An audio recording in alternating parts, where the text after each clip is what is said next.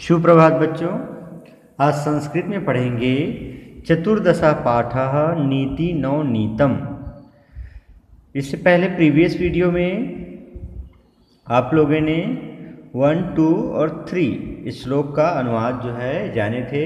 अब जो है नंबर फोर से स्टार्ट करते हैं, ओके? अहिम निपह च शार्दुलम किटिंच बालकम तथा परस्वानम च। मूर्खम च सप्त सुप्तान्ना सुप्तान्ना प्रबोधित क्या कह रहा अहिम निपम अहिम मीन्स अहिम मीन्स होता है सर्प, शार्दुलम मीन्स सिंह, शेर, किटिंच मीन्स होता है बर मधुमक्खी। बालकम मीन्स शिशु, जो बालक होते हैं ना, परस्वानम दूसरे का कुत्ता सुप्तान सोते हुए और ना मीन्स नहीं, बोधियत मीन्स जगाना चाहिए। कहने का मतलब क्या हो रहा है?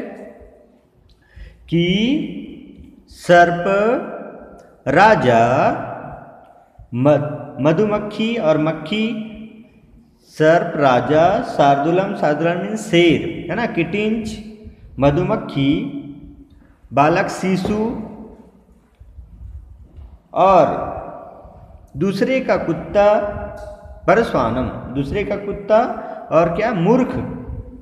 ये जब साते, ये जो सात ऐसे ऐसे प्राणी हैं, जिन्हें यदि वो सो रहे हो तो नहीं जगाना चाहिए। कहने का मतलब क्या है? यदि सर्प राजा, सिंह, मक्खी, शिशु, दूसरे का कुत्ता मूर्ख और ये यदि सातों सो रहे हो और उन्हें जगा दो तो परिणाम ठीक नहीं होता, अर्थात कुछ भी हो सकता है। राजा सो रहे हो, है ना? उनको जगाओगे तो हो सकता है गुस्से में आकर के वो जो जो जगाने वाले को उनके क्रोध के क्या हो जाए? एक प्रकार से भागी हो जाए क्रोध के और कुछ भी दंड पा सके। सर्प को जगाओगे तब तो खतरे मोल लेना ही है। है ना? इसी प्रकार से अन्य जो है, जैसे मक्खी है तो वो बैठा हुआ है, उसको आप जगाओगे इधर उधर तो उड़ेगा तो आप ही को नुकसान है। शिशु को जगाओगे तो रोएगा। दूसरे का कुत्ता है, वो पता चला भोंकना चालू कर दे, है ना? और मूर्ख है तो इनको क्या मतलब जगाने से? उल्टा नुकसान ही हो सकता है, इसलिए ये साधों को सो रहे हो तो जगाना नहीं चाहिए। नेक्स्ट है, विद्यार्थी सेवक पांथा सुधार तो भय कातर भंडारी प्रतिहारी च सप्त सुक्ताण प्रबोधित उपर्युक्त में क्या नहीं करना था? जगाना नहीं चाहिए था, लेकिन अभी जो श्लोक दिया हुआ है, उसमें जगाना चाहिए। उपर्युक्त जो ये लिखा हुआ है श्लोक में, सात को नहीं जगाना चाहिए। कौन कौन सा? फिर से बोल दिया रहता हूँ, सर्प, राजा, सिंह, मक्खी, शिशु, दूसरे का कुत्ता और मूर्ख, ये सातों को नहीं जगाना चाहिए। तो किन सातों को जगाना चाहिए? दिया हुआ है यहाँ पर, विद्यार्थी सेवक। विद्यार्थी सेवक, पांथा मीन्स होता है राहगीर। रास्ते में जो चलते हैं, राहगीर। रास्ते में चलने वाले को क्या बोलते हैं? पथिक, राहगीर। और क्षुधार्तो क्षुधार्तो मीन्स होता है भूखा व्यक्ति। और भय कातरा भय मीन्स होता है डरा हुआ व्यक्ति। भंडारी भंडारी मीन्स होता है जो रसोई में काम करे भोजन पकाने का और द्वारपाल प्रतिहारी च सप्त सुक्तान प्रबोधित। इन सातों को सोते हुए हों, यदि सो रहे हों तो जिन्हें जगा देना चाहिए। अब आपको पता हो गया कि किसको जगाना चाहिए और किसको नहीं जगाना चाहिए। तो किसको नहीं जगाना चाहिए, पढ़ लिए, अब किसको जगाना चाहिए? विद्यार्थी हैं। विद्यार्थी यदि सो रहे हैं तो उन्हें जगा दीजिए ताकि वो अपनी विद्या ग्रहण कर सके, पढ़ाई कर ले। इसलिए मम्मी और पापा जो है जगाते हैं बच्चों को, है ना? और सेवक है तो सेवक का काम ही है, सेवा करना, इसलिए उनको भी समय में जगा दीजिए। राहगीर है, रास्ते में जो पथिक है, सो गए हो विश्राम करने के लिए तो उनको आगे बढ़ने के लिए उनको याद दिलाइए कि आपको जाना है। तो ये आपका पुण्य का काम हो जाएगा। और क्या भूखा व्यक्ति है? कोई व्यक्ति बहुत भूखा है और सोया हुआ है तो उनको जगा दीजिए कि आपको पहले भोजन करना है। डरा हुआ व्यक्ति है, उनको जगा दीजिए, ताकि वो अपना जो डर है, वो विस्मृत कर सके। भंडारी है और द्वारपाल, ये सातों यदि सो रहे हो तो इन्हें जगा देना चाहिए, जिससे ये अपने कर्तव्य को भली भांति पूर्ण कर सके। ओके, नेक्स्ट श्लोक देखते हैं। कामम क्रोधम तथा लोभम स्वादम श्रृंगार कौतुके, अति निद्राम, अति सेवाम च विद्यार्थी हृष्ट वर्जित। अब यहाँ पर दिया हुआ है कामम कामम मीन्स होता है काम। क्रोधम क्रोध, लोभ, स्वाद। स्वाद मीन्स है ना टेस्ट श्रृंगार, कौतुके। कौतुके मीन्स होता है खेल। अति निद्राम, अति निद्रा। ज़रूरत से ज़्यादा सोना। अति सेवा और अति सेवाम च अति आनंद। ये जो आठ है ना, ऐसे आठ कौन कौन सा? काम, क्रोध, लोभ, स्वाद, श्रृंगार, खेल। श्रृंगार मीन्स ज़्यादा सजना सवरना, है ना? तो ये इसको और स्वाद। स्वाद को भी नहीं देखना चाहिए विद्यार्थी को। जो भी मिले चुपचाप खा करके अपना जो इसमें ध्यान नहीं देना चाहिए कि क्या मिले, क्या खाना है, क्या पीना है, बल्कि जो घर में तैयार है, जो घर में जो है पका, पकाया भोजन है, उन्हें जो है प्रसाद रूप में उसे एक्सेप्ट ग्रहण कर लेना चाहिए। और इस, ये सब चीज़ में जो है ज़्यादा जो है दिमाग नहीं लगाना चाहिए। श्रृंगार, खेल है, अति निद्रा है, ज़्यादा अधिक नहीं सोना चाहिए, अति आनंद। कौतुके। ये क्या करना चाहिए विद्यार्थी को?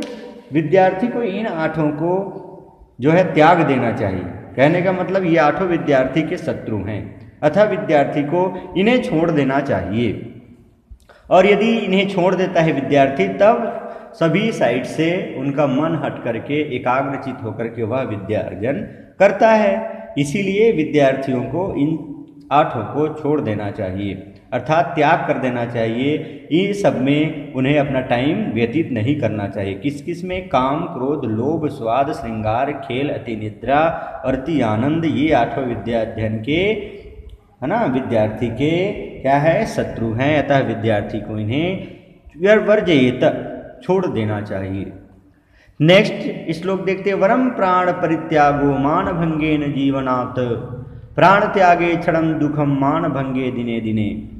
वरम मीन्स होता है श्रेष्ठ, प्राण परित्यागी, मृत्यु, मान भंगेन, अपमानित और जीवनाथ मीन्स होता है जीवन से। वरम प्राण परित्यागो। वरम मीन्स क्या होता है श्रेष्ठ? क्या क्या श्रेष्ठ? प्राण परित्यागो। प्राण को त्यागना, मृत्यु को वरण करना श्रेष्ठ है। ऐसा क्यों कहा है? किसकी अपेक्षा? मान भंगेन जीवनात्। किसकी अपेक्षा? अपमानित होकर जीवन जीने की अपेक्षा। मर जाना श्रेष्ठ है। अपमानित होकर जीने से मृत्यु श्रेष्ठ है। प्राण त्यागे क्षण दुखम मान भंगे दिने दिने। अर्थात, मृत्यु में एक बार दुख पा होता है, किंतु जो अपमान मान हानि से हमेशा जो है इंसान को दुख होता रहता है। इसीलिए अपमानित होकर जीवन जीने की अपेक्षा मृत्यु श्रेष्ठ है कहने का तात्पर्य यहाँ पर यही है कि हमें ऐसा कोई काम नहीं करना चाहिए जिससे हमें अपमान जनित जो है अपमान आ, की स्थिति का जो है क्या करना पड़े? उसे सहन करना पड़े या अपमानित होना पड़े, हमेशा हमें ऐसा काम करना चाहिए, जिससे, है ना, किसी व्यक्ति को ठेस भी ना लगे और कोई अपमानित ना हो। तो जब कोई किसी के द्वारा हम, किसी को हम अपमानित नहीं करेंगे तो कोई व्यक्ति हमें अपमानित नहीं कर सकते। और यदि कोई व्यक्ति जानबूझ करके कुछ भी अपमानित करते हैं तो उसका इफ़ेक्ट आपके ऊपर नहीं पड़ेगा जब आप अच्छे हो। ओके?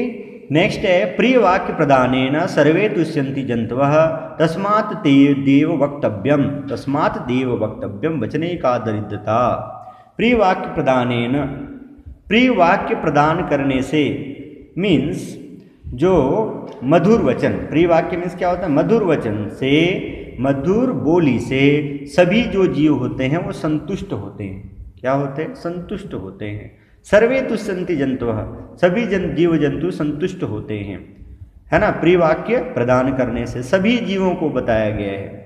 यहाँ तक का, है ना, कुत्ते बिल्ली को भी आप थोड़ा प्रिय वाक्य प्रदान करने से, मीठी ज़ुबान बोलने से उन लोग भी दुम हिलाते हुए, है ना, आपके पीछे चले आते हैं। तो फिर अन्य जीवों को और क्या ले? कहने का मतलब प्रिय वाक्य प्रदान करने से सभी व्यक्ति, सभी जीव संतुष्ट होते हैं, खुश होते हैं।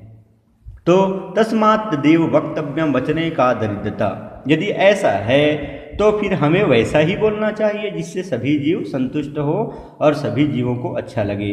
वचन में कैसी दरिद्रता? अर्थात वचन में कैसी गरीबी? किसी व्यक्ति का सम्मान करने के लिए आपको कुछ खर्च करने के लिए कहा जाए, कुछ मिठाई और अन्य जो लाने के लिए कहा जाए, भव्य स्वागत के लिए तो उसके लिए कुछ पैसे की ज़रूरत पड़ेगा, लेकिन हम तो ज़ुबान तो व्यक्ति, सभी व्यक्ति अच्छा बोल सकते हैं, है ना? और ये इस प्रकार से मधुर वचन निकाल करके, मधुर वचन से बोल करके हम सभी को संतुष्ट कर सकते हैं। इसीलिए हमें कैसा बोलना चाहिए? तो बोले, मधुर वचन बोलना चाहिए, जिससे सभी लोगों को अच्छा लगे। किसी को क्या ना लगे? हर्ट, कोई हर्ट ना पहुँचे हमारी ज़ुबान से।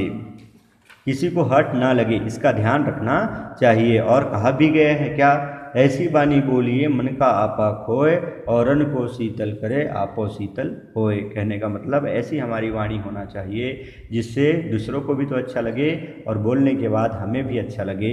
इस प्रकार से जो है वचन, इस प्रकार से बोली का प्रयोग करना चाहिए। नेक्स्ट है, दुष्टाभार्य सठम मित्रम मृत्योश्चोत्तरदायक ससर्पे च गृह वासो मृत्यु रेवना संशय। जिस घर में दुष्टा भार्य, दुष्ट मतलब होता है, समझते हो, दुष्ट ही होता है, दुष्टा, दुष्ट भार्य मीन्स होता है पत्नी, स्त्री। तो जिस घर में दुष्ट स्त्री, सठम मित्रम, कपटी मित्र, भृत भृत मीन्स होता है नौकर। भृत मीन्स क्या होता है? नौकर।